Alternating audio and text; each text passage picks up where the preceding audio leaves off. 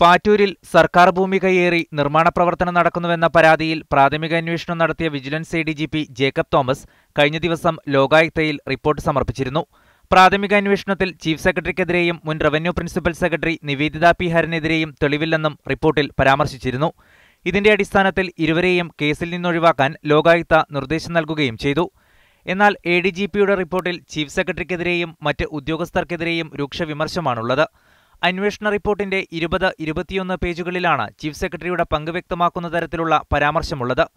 Water അതോറിറ്റിയുടെ pipe line മാറ്റി സ്ഥാപിക്കുന്നതിന് ചീഫ് സെക്രട്ടറി ഉദ്യോഗസ്ഥർക്ക് നിർദ്ദേശം നൽകുകയായിരുന്നു. അടിയന്തരമായി ഈ ഉത്തരവ് നടപ്പിലാക്കണമെന്നായിരുന്നു നിർദ്ദേശം. അടിയന്തര സാഹചര്യമോ ദേശീയ ദുരന്ത സാധ്യതകളോ ഇല്ലാതിരിക്കെ ആഡംബരമാൾ സ്ഥാപിക്കുന്നതിനാണ് ചീഫ് സെക്രട്ടറി ഉദ്യോഗസ്ഥർക്ക് നിർദ്ദേശം നൽകിയതെന്നും റിപ്പോർട്ടിലുണ്ട്. ചീഫ് സെക്രട്ടറിയുടെ ഉത്തരവിന്റെ അടിസ്ഥാനത്തിലാണ് പൈപ്പ് ലൈൻ മാറ്റി സ്ഥാപിക്കുന്നതിന് ഉദ്യോഗസ്ഥർ തയ്യാറായത്. ഇതിൽ നിന്നും സ്വകാര്യ കമ്പനിക്ക് ഫ്ളാറ്റ് നിർമ്മിക്കുന്നതിന് ചീഫ് സെക്രട്ടറി വഴിവിട്ട് സഹായം ചെയ്തുവെന്ന് വ്യക്തമാണ്.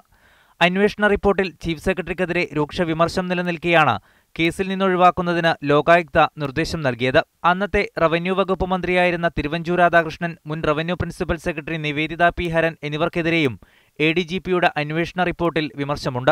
Media one Thiruvananthapuram.